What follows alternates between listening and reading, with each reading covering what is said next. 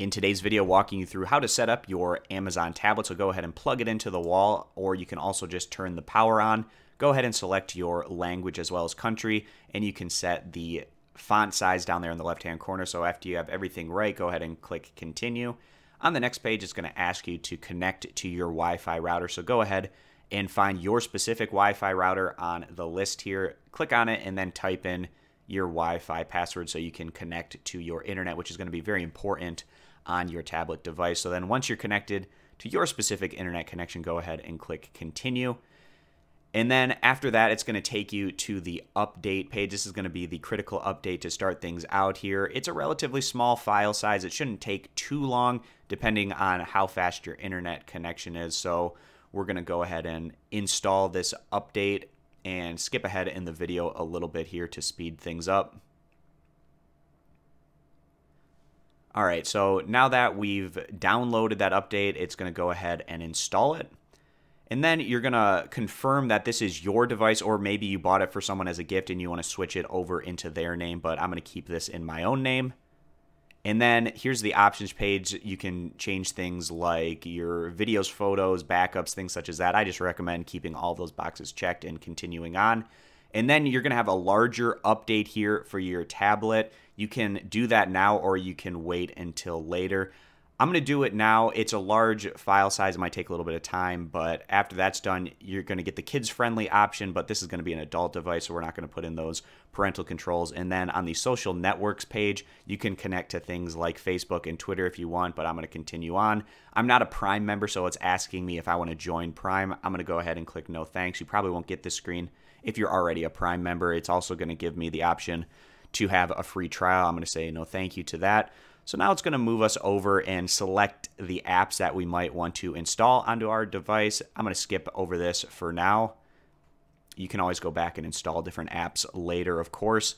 All right, so now we're getting into the meat of the tutorial. We get this welcome page here, and it's going to walk us through all of the different aspects of our tablet. So here we're on the home page, which is going to have all of our apps and things, and it's going to walk us through how to access all of these different options. So we're going to go ahead and click continue. In the top bar there, that's our content pages, things like your home page, your books, your videos, your games, all of these different options that you have. You can scroll through there on the top of the screen. You can switch content pages by scrolling left and right. Pretty simple and straightforward. All right, so then we're going to click continue, and you can also scroll up and down on the pages as well to access all of the content that are in each content page. And then we're going to go to the next option. You have additional browsing content ability up there in the right hand corner by looking at things that you've recently installed or purchased, as well as things that you can go to the shop and access. And then we're going to go ahead and click continue. The navigation bar at the bottom on the left, it's the back button. The middle is going to be the home button. On the right, it's going to allow you to access different applications that you've opened recently. So then we're going to move on from that.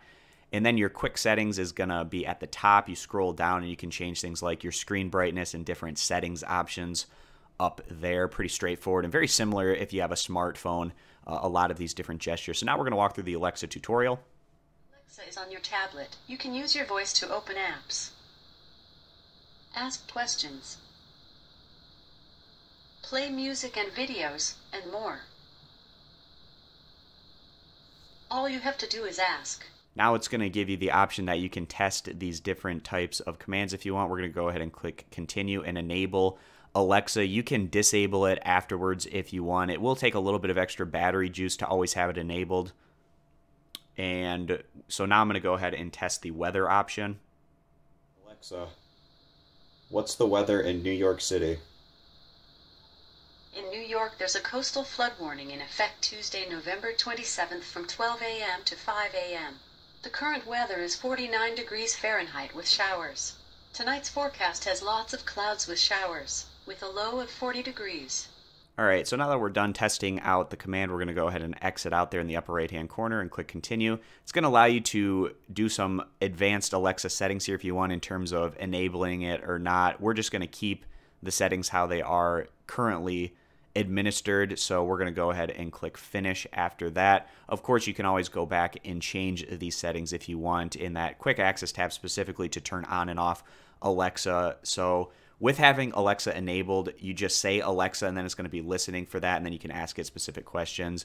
And just showing you here the top settings, you can drag them down and turn off Alexa in that bottom right hand corner in your quick settings. You're going to have other options in there as well. And then you can scroll through your different content options and select those. Also, showing you how to switch between the content pages as well by scrolling left and right, and then scrolling up and down to access all of the different content on these specific pages. So that's pretty much going to wrap up this video, guys. Thanks for stopping on in. Subscribe for more. I hope to see you back here for future videos.